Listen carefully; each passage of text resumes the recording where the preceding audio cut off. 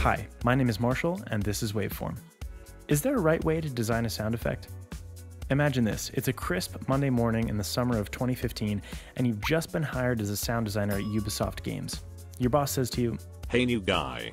We need you to make some ambient computer sounds for this big server room we got in Watch Dogs 2. Make it futuristic and cool. How'd you begin? What kind of sounds would you look for? How would you know when to stop tweaking and move on to the next assignment? Well, we've talked about designing sci fi weapons, punch sounds, robot voices, and much more on this show, but we've never talked about the macro approach. How to actually create a sound from scratch and what creative methods can produce good work while also avoiding getting stuck in a rut where we design the same way every time. My method for making sounds is constantly changing, which I think is a good thing, but I want to show you how I've been doing things lately, because it's true that method is sometimes even more important than technique. So let's do it. Let's pretend we're this guy, and let's get to work on our first assignment. For each sound I design, I try to follow these three shuns collection, iteration, consolidation.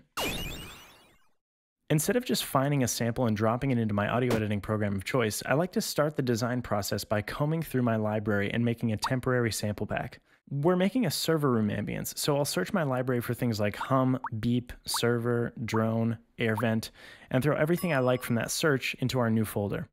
So for example, I might choose a sound like this, but I'd pass on something like this.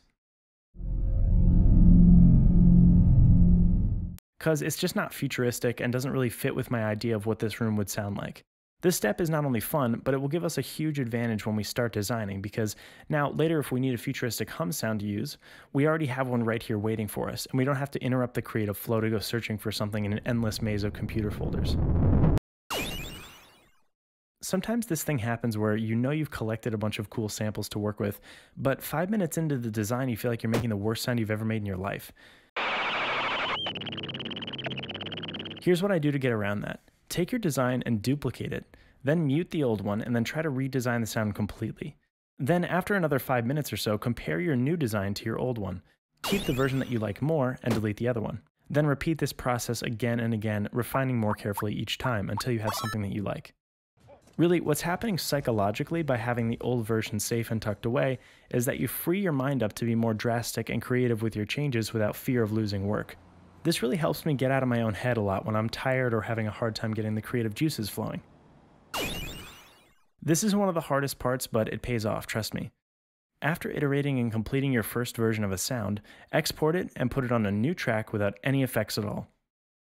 By doing this, we've now forced ourselves to really commit to the design and avoid tinkering and tweaking tiny settings for hours, which can be so unproductive to get sucked into.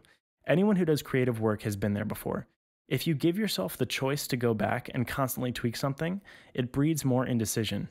I've heard this mode of thinking referred to as rearranging deck chairs on the Titanic. The consolidation step removes that choice. If later, when you hear the sound again with fresh ears, you decide to go back and tweak it, go do it, but you're almost never in the right mindset to make those calls right after you finish something. You have to give yourself some time. Anyway, after following all of these steps, here's the sound that I came up with for version 1 of the ambience in the server room.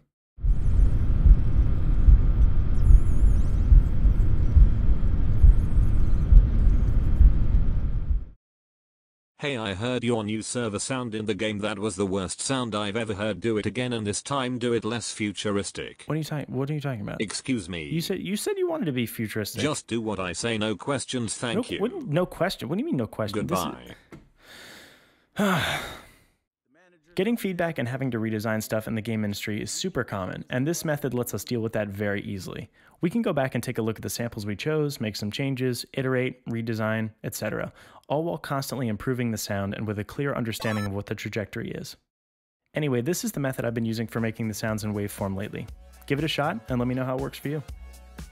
Also, I just have to thank you guys for the incredible support that Waveform has gotten on Patreon.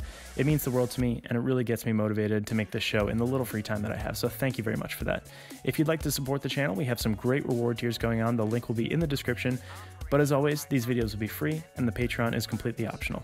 There are tons of other ways you can support the channel that are just as valuable, like sharing the videos with your friends. But before we wrap up this video today, I'd like to talk about a new plugin called Weaponizer. Sometimes I'm sent a plugin from a company for review on this channel, and I almost never want to do it because I feel like it's not the kind of stuff that you guys tune in for, and frankly, most of the plugins that I receive I would never use myself. But this is a bit of an exception.